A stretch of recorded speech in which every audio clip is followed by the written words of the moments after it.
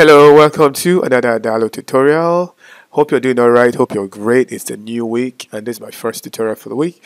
If you've not subscribed to this channel, feel free to click on the subscription button below. It's good for the YouTube algorithm.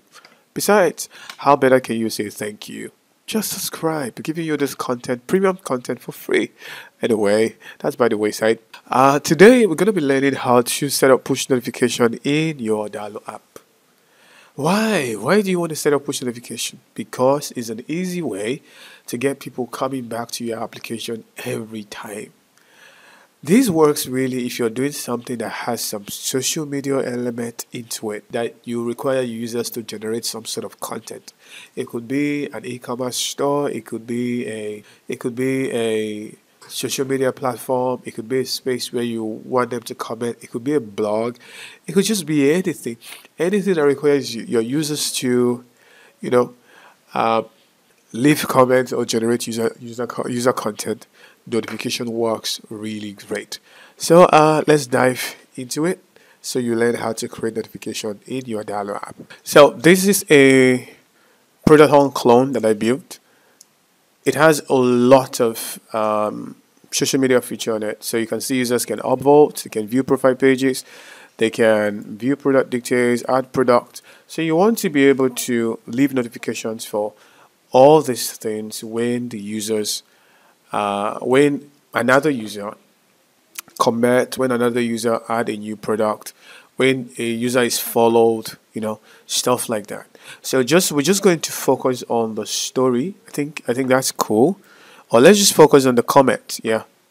Let's focus on the comment part of it. This is the comment.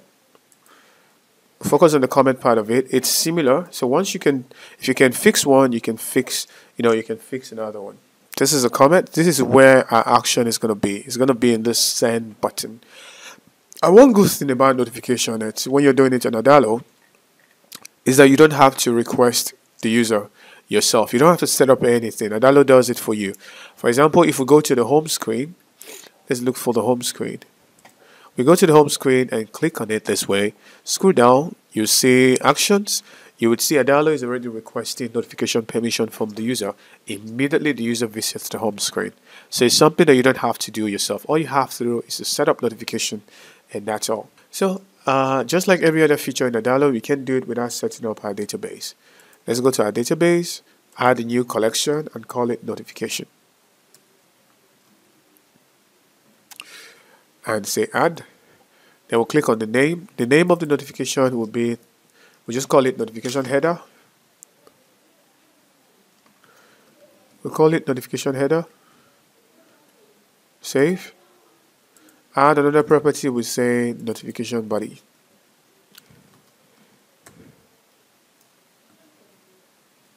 notification body. So the reason why this is like so you've had you've seen on your phone notification will always have a head a headline and then there is a tiny text beneath it that your phone can show. Even your whatsapp notification all of it that's the way it is. Notification header notification body and here you have to you have to then relate your notification with whatever you want to you want users to you want to notify the users with. So here we're doing comments. So we're going to say add a property this time it's going to be a relationship with the comments. Uh, so a comment can have multiple notifications. A notification belongs to one comment. So we'll leave it here.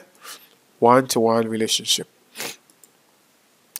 Uh, that's how we want to do it. And also we can we we would add uh, we would add another relationship with the user we would say a user can have multiple notification. A notification belongs to one user. So that's what we want to do. So we would say notification recipient. You can call it whatever you want to, but the, the, the, it's just very good to follow good naming conventions when you're doing all this. So let's go to our, our comment button. Watch this very closely. You're going to be doing this a lot. We'll click on the send. Come back here.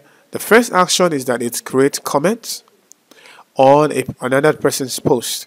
So we'll go and say add a notification add a an action trigger notification. Then who is going to be the recipient? It will be the owner of the post. Yeah current products user that's going to be the owner of the post. Current product user. This application have two users the person who created the product and the person who is currently signed in so you're not going to be sending notification to the person who's creating the notification but instead you're sending to the person who created the post and this other person is commenting. Understand right? So you know Product Hunt. Product Hunt has product and it has uh, it has product. You can comment leave a comment on the product. So here we're saying we're going to send this notification to the post creator that's what we're doing so we're saying okay we're going to be sending the notification to the to the current product user or the current product owner any of them it's it's fine it's fine so we say we're sending it to the current product user. That's who we say we're sending it to. Then the the title will be Hey current product user name, current product user name. Uh, yeah, you have a notification. Or we could say, you could say the person who's leaving the comment just sent you a message. Simple. But that's fine. We're not going to do that here. Then the body will be the comment. So we say input. So the body will be the comment here. So you, the body can be the comment like here so this is going to be it's going to just trap this. It's going to just trap the input like so. That's how it's going to be. Then when a user click on it where do you want them to go to? You want them to go to you want them to go to this. You can tell take them to this post right here like so. Or you can take them to a notification screen. So we just do so and say ah, add a screen. We call this notification screen so this is going to be a list of notifications that's what it's going to be uh, let's just call it a simple list and say create so it takes them to the notification screen that's all you need to do and it's done. Then another thing that you want to do is that you want to be able to display notifications for your users. That's something you want to do. So we'll go back to our notification uh, uh, user screen, our notification screen, right? That's what we'll go back to. So this is our notification screen, like so. We don't want this, so we delete it. Come back here, and it's going to say what's this is going to be a list of. It's going to be a list of notifications. All notifications, no it's going to be notifications for it's going to be notifications where the recipient email is the same as the user it's going to be the where the recipient email is equal to the logged in user's email that's going to be the notification that's the only notification that will display right here and so you just go ahead and say title is going to be the notification header, subtitle is going to be the notification body, that's the subtitle. Then the image here is going to be the current logged in user's image. The image of the person who left the comment, it could be, or it could be the current logged in user image, depending on what you want to do with it. So it's going to be database, comment, user comments photo, product comment thumbnail no. So here because we're doing some sort of because we're, we're, we're mimicking Product Hunt it could be the thumbnail of the product that was commented on this person's product or it could be the user the person the person who left the comment the photo of the person. That's what we're doing. So the photo of the person who left the comment and then you can also do this that when a when a person click on this notification you take them to the particular screen that displays to the particular screen that displays the product, the comments, so they can take a look at it. That's how notification works. And another thing to do is that when you get to, you, you can take your users to the home screen and allow them view notification. Cool, right? Uh, I wonder where this is going to be. But it could be in the profile the profile screen. Where we have the profile let's go find it. Could be where we have the profile. So users yeah it could be on the profile page here. And you can add something here. Just add a you can add a test and call it notifications. Yeah notifications and on click is going to link to the notification screen I know this is a bit hidden. This is not such so much so, some sort of a good user experience uh, because you, it's this is very hard to find. It's very hard to find in the user journey, and it's crazy. But just wanted to put it here so you you understand what I'm talking about. So that's basically that's basically the way this works. If you want to take this further, you can come back here to your database and create a notification type.